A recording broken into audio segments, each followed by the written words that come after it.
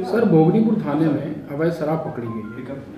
क्या है पूरा मामला कहाँ शराब देखिए, ये लुधियाना से ट्रक कंटेनर लोड हुआ था और इस पर रजिस्ट्रेशन एच आर पचपन एस बहत्तर चौंसठ का था। ये रात में चेकिंग दौरान पकड़ा गया मुखबिर सूचना पर।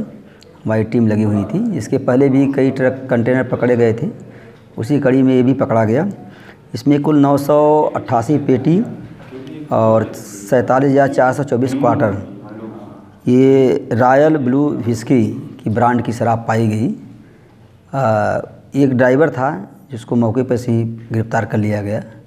उसके अनुसार जो है, ये लादी को, कंटेनर को बिहार ले जा रहा था और इसको मोबाइल के द्वारा जो है मार्ग बताया जाता था और कहाँ इसको अनलोड करना है, ये उसको बिहार जाने पर ही बताया जाता। इसको कस्टडी में ले लिया गया, मुकदमा कानपुर की जेल भेजा जा रहा है। और इसकी तफ्तीश के अन्य भिन्न पहलुओं पर जाँच करने के बाद कार्रवाई की जाएगी।